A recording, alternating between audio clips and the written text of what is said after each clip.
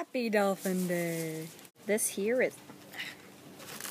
This here is Flipper the dolphin. My mom rescued him from the grocery store. So, Flipper, Jesus Christ. He's a helium balloon. My god, it's sunny. I'll be right back. okay, much better. Okay, you know what, Flipper? You're being a nuisance. I'm putting you somewhere else.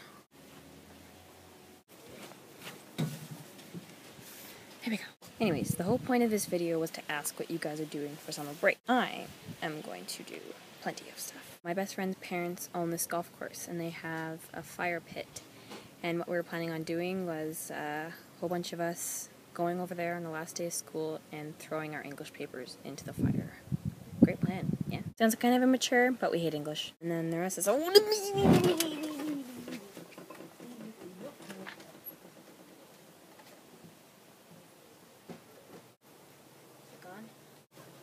I don't like bees.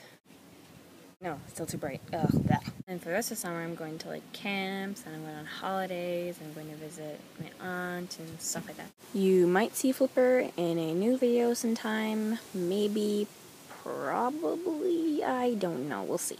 If you like this video, press the like button. And if you don't like this video, press the dislike button. And if you like dolphins and summer break, then press the subscribe button.